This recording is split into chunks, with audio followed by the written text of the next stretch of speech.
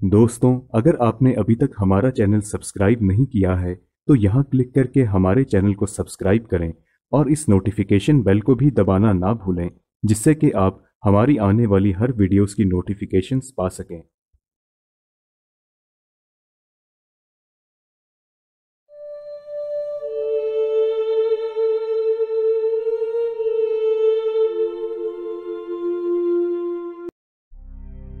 दुनिया भर में कई सदियों पुरानी गुफाएँ हैं, जो प्राचीन होने के साथ धर्म की वजह से बहुत खास हैं। आज हम बात करेंगे दुनिया की अलग अलग जगहों में बने हिंदू धर्म की कुछ प्राचीन और रहस्यमय गुफाओं के बारे में। ये मंदिर पाकिस्तान के बलोचिस्तान में हिंगोल नदी के किनारे पहाड़ी गुफा में स्थित है। हिंगलाज माता का ये मंदिर सती देवी के इक्यावन शक्ति पीठों में से एक है। इस मंदिर के महत्व का उल्लेख कई ग्रंथों में भी मिलता है। यह मंदिर इंडोनेशिया के बाली द्वीप पर बने कई प्राचीन मंदिरों में से एक है। भगवान शंकर को समर्पित इस मंदिर में तीन शिवलिंग बने हैं और देश विदेश से पर्यटक इसे देखने आते हैं।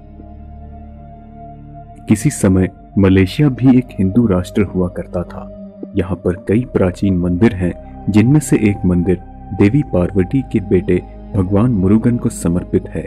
इस गुफा में भगवान मुरुगन की 43 मीटर ऊँची मूर्ति है और उनके जन्म दिवस पर थाईपुसम नामक त्योहार मनाया जाता है।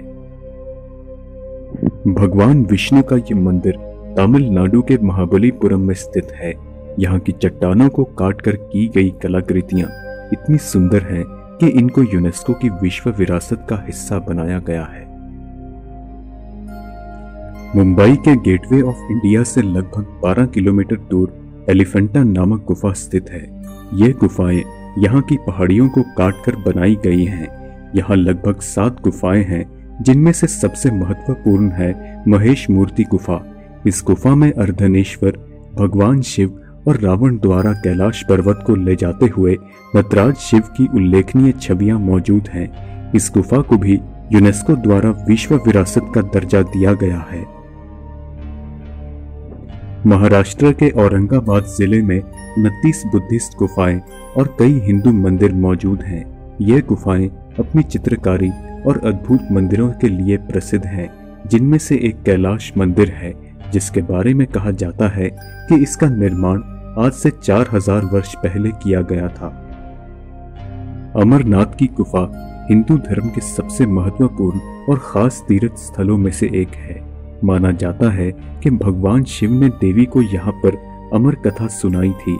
हज़ारों वर्ष पुरानी इस गुफा में आज भी बर्फ़ का प्राकृतिक शिवलिंग निर्मित होता है, जिसका दर्शन करने के लिए हर साल यहाँ पर लाखों भक्त आते हैं। ये गुफा कर्नाटक के बादामी क्षेत्र में स्थित है।